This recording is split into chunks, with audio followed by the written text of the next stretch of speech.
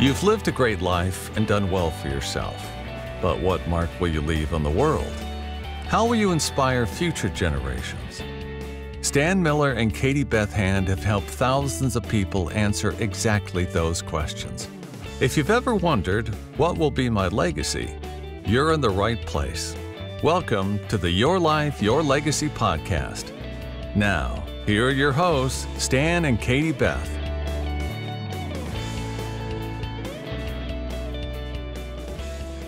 Welcome back, everyone. You are listening to the Your Life, Your Legacy podcast with your hosts, Stan Miller and Katie Beth Hand. Today, we are excited to welcome to the show Donald Cunningham. Donald, thank you so much for joining us. No problem. Thanks for having me. Absolutely. So, Donald, to get started off, just tell our listeners a little bit about who you are and a little bit about what it is that you do. Okay, just a little bit about me. Uh, I'm actually uh, born and raised in St. Louis, Missouri. Um, that's where I actually um, introduced to my wife of 28 years of next year, it would be. Um, I have nine kids, uh, three girls, six boys. Um, just recently located here in El Paso, Texas. Um, I've been a financial service consultant uh, going on six years. And so what I mainly do is I help and educate families and business owners how to save, grow, and protect their assets. You know, all in a nutshell. That's great. That was that was a great overview. Okay, so you talk a lot on your website about life insurance, and I know Stan will have questions and and lots of comments on this as well. So you talk about life insurance and how that's one of the best ways to preserve and create generational wealth. Tell us just a little bit about what you mean by that and how you do that. Um, so simply, um, I, me born and born and raised in St. Louis, was never educated on simply just how money works or even the importance of life insurance.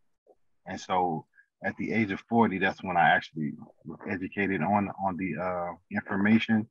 And so I just took it upon myself to actually create a business out of it, starting doing it business wise and just educating the masses uh, whoever I could get in contact with, uh, families, friends. Um, I started there, of course, uh, especially educating myself. And so I didn't realize that you can actually create wealth through using the tool life insurance. And you know, when you think about life insurance coming up, I just thought life insurance as death insurance, but it's actually life insurance once you realize the importance of it. So my my job is I just educate the families uh, individuals on not what life insurance is, but what life what what it does. And so, and that's what I get across, and, and that's how I educate uh, the individuals that I come across. Because uh, there's so many different unique ways uh, you can utilize life insurance as a tool. Uh, but we'll be here all night. Right, right. Well, no, I, I love that. I do think that outside of the financial planning world, um, life insurance as a way to to create and protect wealth is something that a lot of people, just in the general public, don't know about. And I know that that's yeah. something that Stan has done a lot with too. So, Stan, what questions or comments do you have? Oh, there's a lot. We we could talk all day and all night about life insurance. so many so many ways to use it. One of the ways that uh, I think life insurance is underutilized, and I want to hear you comment on this, is okay. as a way to protect against the risk of of uh, losing assets by by having to go to long-term care. Absolutely. Absolutely. Speak to that. Speak to that for a minute. Okay. Um, from from what I understand in, in my education on how uh, I use life insurance and I educate uh, the masses dealing with long-term care, there's an alternative uh, because you can, from my understanding, long-term care insurance by itself it can be pretty expensive. And so that's why one of the tools that I use and educate the masses on is something called living benefit. And so that's like living benefit to me. Um, I believe that's a game changer because on the services that I provide, it comes with it absolutely at no additional cost. And so that protects you if they get a critical, chronic, or terminal illness, they're able to accelerate their policy.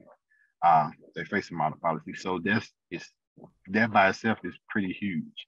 Uh, just to have access to, you know, mm-hmm. for what if if for what if happened, if something, you know, for the what if happened. So uh, that's a beautiful thing on having um, access to that. I believe that's so important. Um, you know, to just have, just have access to it. I always tell people, um, I know everybody familiar with AFLAC. So I just use it as an analogy that uh, living benefits is something like Aflac, but on steroids. You know, so and I and I just just share that with them and just it's like I said, I love what I do, man. Just educate them on something that they was never aware of. So that living that living benefit means that if you if you have a policy and nothing happens until you die, then the the entire death benefit goes to your beneficiaries, right? But but if, if you end up in a nursing home or have some critical care need, then you can start accelerating the death benefit while you're still living, and it just subtracts subtracts from the death benefit. Right? Yes, Am I understanding that right? Yes, sir. Yes, sir. Yeah. You know, I think I think the long-term care risk for average Americans is is probably the the really the really big unprotected risk. You know, because something like something like 70% of all Americans, they say, uh, are, are going to spend some time in a nursing home. And I don't know how much nursing homes cost in your part of the world, but you know what I hear, you know, I hear, you know, it ranges from five or six thousand dollars a month in, uh, you know, down in the south. But if you if you go further north, uh, you know, you go up to, I'm, I'm, i hear, you know, I have friends of mine in New York that tell me that that a, a month in, a month in a nursing home out on Long Island might cost fifteen thousand dollars. You know, so yeah. family has to be pretty wealthy to be able to pay for that out of cash flow. Yeah, absolutely. Um, I have a colleague of mine. Actually, on Saturday we just had a meeting, and he um, shared um, his mom was in a nursing home for three years, and because he had living benefits, and he bought this uh, policy back in the 80s, if I'm not mistaken. But he said it saved him $75,000 because his mom was in a home yeah. um, for three years. And because he had that rider on his policy that was able to help him out uh, for, you know, taking care of his mom yeah. while she was in a nursing home for three yeah. years. So it's a, it's a huge, man, it's a huge factor. Uh, so, um, changing the subject here, let me ask you: Do you, do you uh, I guess I want to ask you how you, you know, you, you probably have the opportunity, or if you, and maybe it's maybe you think of it as an opportunity or not, but but the the opportunity to work with attorneys in the course of the work that you do with your clients, and I'm I'm I'm, I'm wondering. Uh, just share some experiences. Tell, tell me how that relationship works uh, you know, and, and I guess what I'm really looking for is to find out if you've had some negative experiences in working with attorneys. You know, I hear the, you know, I, I hear I'm an attorney and I hear uh, a lot of life insurance guys I know tell me they're they're afraid when the lawyer shows up because they're afraid the lawyer is going to kill their deal and so much that I you know that the the term uh, deal killer attorney is almost like a term they use you know and so yeah. I'm, I'm wondering what your relationship is like with the attorneys that you that are colleagues that you work with. Okay, for me, I me personally, I haven't worked personally beside an uh, actual attorney, um, but one of my colleagues, uh, which is my business partner, he partnered with the, uh, a family attorney, and so and they collided, they collaborated on a couple of events on how life insurance can benefit uh, the family that he was serving.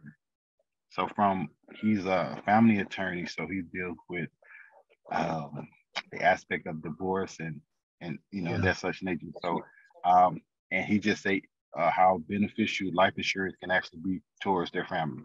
Um, because uh, life insurance plays a, a, a, very important role even dealing with divorce. And so, you know, because you know when you deal with life, but I guess with a divorce, you they're trying to split everything up the middle or, or however they do it but I'm not for sure. Like I say, I haven't personally um, worked with one, but my my uh, my colleague just shared stories with me on how life insurance can be very beneficial uh, dealing with attorneys. Now, um, me myself personally, I'm trying to actually connect with a lot of CPAs, um, and so this that's one of the things I try to reach out to and show them how life insurance can benefit their client as well, or as you know when they're thinking about saving or even the tax purpose, the tax advantages um, that they can benefit from having through life insurance. And so that's one of the things that I'm really trying to tap into with, you know, working with CPAs or even attorneys as well. You know, um, I love to offer my service because uh, most of my service I do is complimentary, and I try to figure out any way possible how I can assist them through what I specialize in. I'm curious, have you have you uh, had the occasion to deliver a death benefit check yet? Yes, sir. Yes, sir. I only had one, and uh, the crazy part about that is it was someone that I knew personally, family, you know, and so that's what. Um, actually, it was my wife, my wife nephew. So how this came about was I serviced her. I, I provided her a policy. Um, you know, I always share this story when I'm talking, actually, when I'm educating, just to let people know the, you know, the realization that anything can happen. So I serviced her with the policy. Um, seven months later, she gave me a call um, and asked me, is everything okay with our policy? And I'm like, of course, I know everything is good because I never received no information in regards to your policy. So she just wanted to find out, and it was kind of odd. So I asked her, everything's okay? Then she called me back and told me, you know, everything. She she was diagnosed with stage four cancer, and so I was like, wow. Okay, so I said, okay, cool. So what I did was I put in for an accelerated benefit for because she had a terminal illness. So by by, by time um, I got the paperwork in, uh, she ended up passing within within two weeks. So it was it was it was crazy uh, for me because that was my first one, and so Uh, Donald, I think your sound cut out. There we go. We had to end up in file for a death benefit. And so, um, you know, months later, I was able to deliver a check to her son and her daughter, uh, which yeah. is my wife. Yeah. You know, my colleagues who are, who are in the life insurance business tell me they've never delivered a death benefit check and had people complain about having too much death benefit. I know, right? Yeah. Yeah. You might not get that, um, but it does help uh, with the breathing. You know, I would say it would help with the breathing. Oh yeah. Absolutely. Absolutely. Yeah. And, so uh, Donald, with the oh, go ahead. Now I was just remembering uh, a small conversation I had with the mom, and she said she just wanted to have something uh, left behind for her kid, her two kids you know, it wasn't a big claim, but it was something to uh, leave behind for the kids, you know. Um, so, you know, I shared that with with our son later, um, but he was like, "Wow, yeah." But go ahead. Sorry about that, Katie. No, that's great. I, I love it. I I love um, taking what you do be, just beyond the financial and, and monetary benefit. And I love these personal stories about how it truly has come through and and help these families even you know with a death benefit policy these families that are grieving um, those those people you know that's that legacy that the mom was able to leave that you know she was able to leave them with something that they can can use to make a positive impact on their family and on their lives and on the next generation. And i just think that that is extremely powerful. So i, I love that you shared that with us. And my, my next question for you actually relates to that. So through the education that you do and um, through all of the work that you do, what is it that you hope that your legacy will be, Donald? For my legacy, to be educated on financial literacy, because uh, that's one of the things that was really lacking in my family growing up, and so I didn't have that um, that importance or that education about financial literacy or how to even create generational wealth. You know, I didn't think it was possible because I wasn't taught that.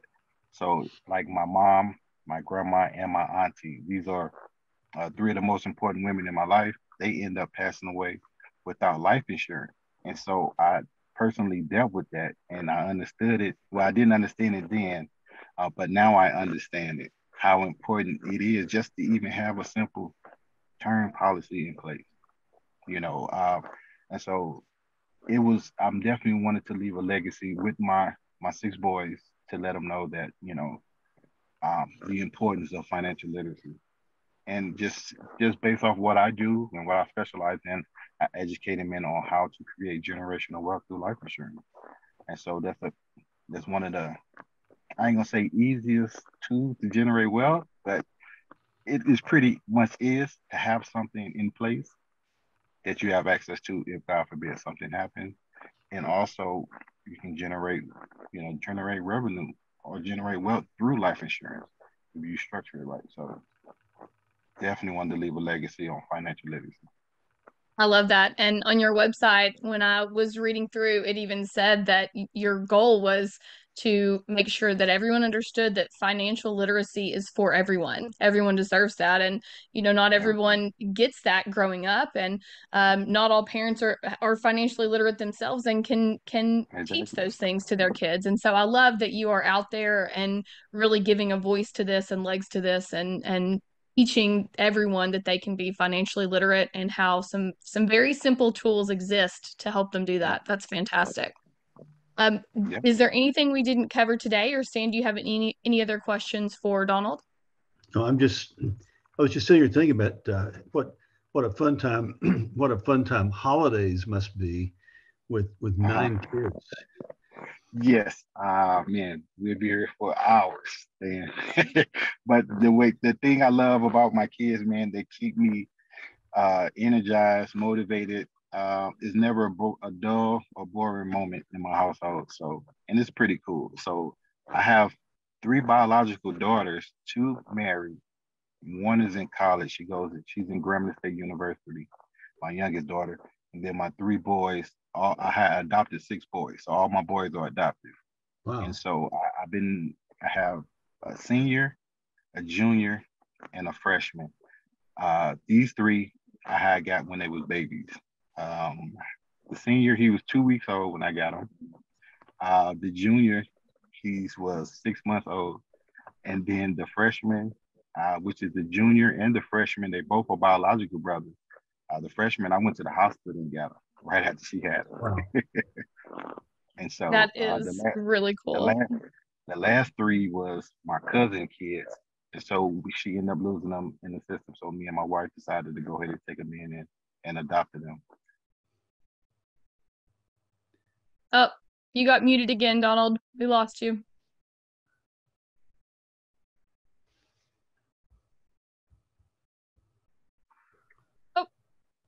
Okay. Well, oh, and he's back. Hey, welcome back, Donald. No, no problem at all.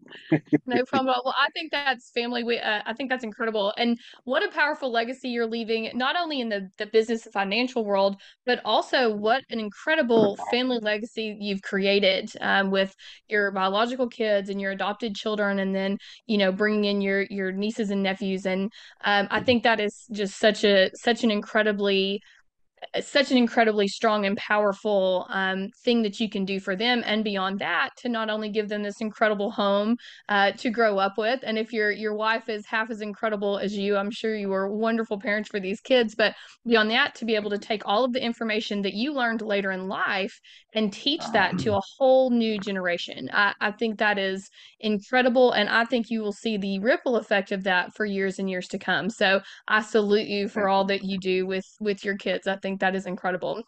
Uh, well, thank, thank you. you. so much for being on the show with us, no ladies and gentlemen. This this has been the Your Life, Your Legacy podcast with your hosts Stan Miller and Katie Beth Hand. And our guest today is Donald Cunningham. You can find out more about Donald and the services he provides. We will link his website, dscfinancialservices.com, in the show notes. Donald, thank you again so much for joining us today. It was an absolute pleasure. Absolutely. Thanks for having me. Thanks for listening to the Your Life, Your Legacy podcast with Stan Miller and Katie Beth Hand.